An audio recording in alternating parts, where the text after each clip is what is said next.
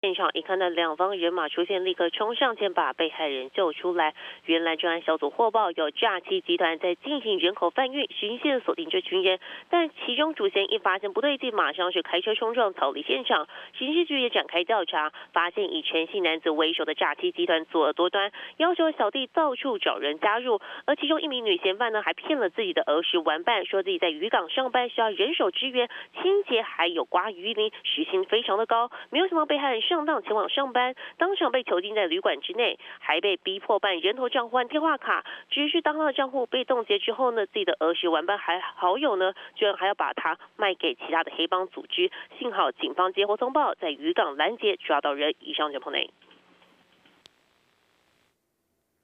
请支持一个专门报道国际新闻的全新 YouTube 频道 TVBS 国际 Plus，扩大视野，掌握趋势，请订阅并开启通知小铃铛。